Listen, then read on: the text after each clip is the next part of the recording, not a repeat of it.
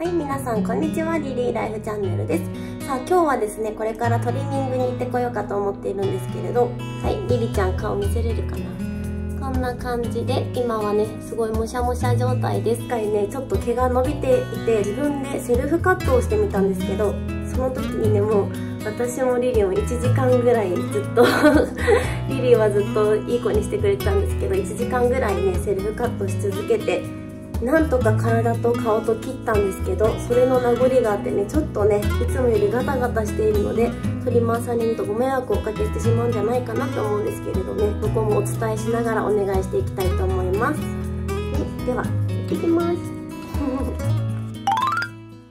さあおはようございます。リリちゃんのトリミングがこんな感じになりました。今ねボウルの中のおやつを食べているので顔はあまり見えないんですけどすっきりしたねりっちゃん。リリ。さあそれではね今日はリリちゃんねリリちゃんの兄弟のししゃもくんと会う約束をしているのでこれから行っていきたいと思います。はい。待って。はいそれでは行ってきます。っ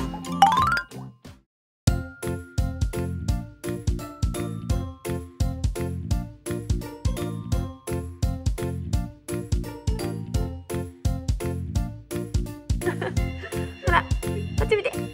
上手だね。上手だね。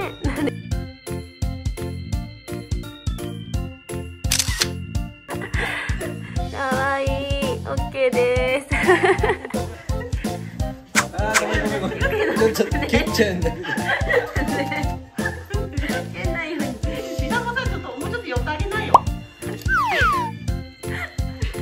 リリが大事だよ優しくだよ優しく優しく。そうそうそう上手上手。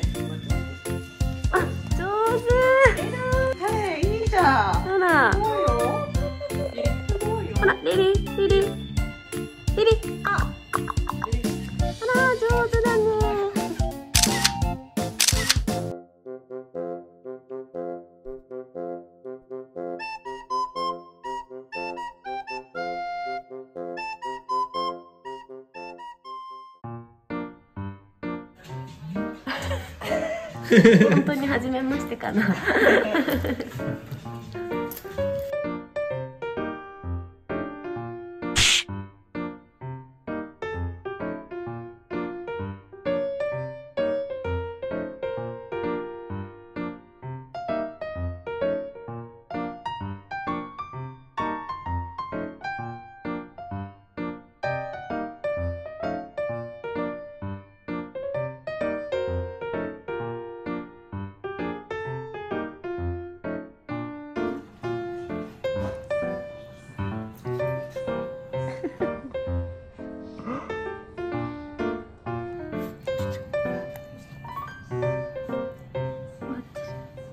座りはいどうぞ。もあるよここも待ってしてはい待ってだよ待って待ってしてて待ってしててねあらどうやって食べるんだろう。諦めるそのまま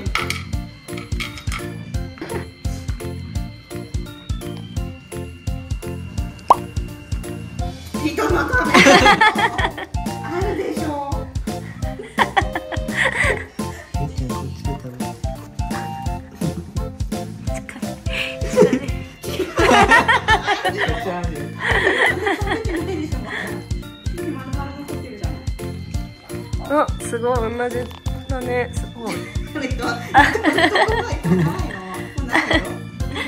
ね食べ終わったの。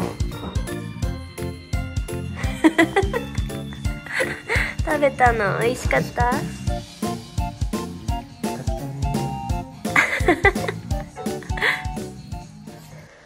はい、最後までご視聴いただきありがとうございました。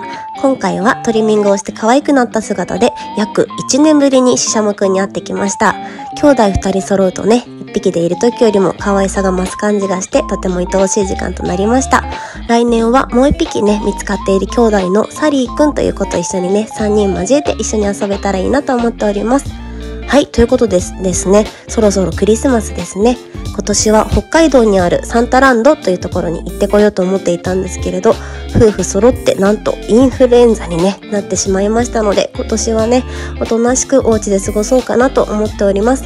リリさんのケーキは今年も食べられたらいいなと思っていますので、そちらの様子もまたお届けできたらいいなと思っております。それでは皆さん、良いクリスマスをお過ごしください。次の動画でお会いしましょう。したらねー。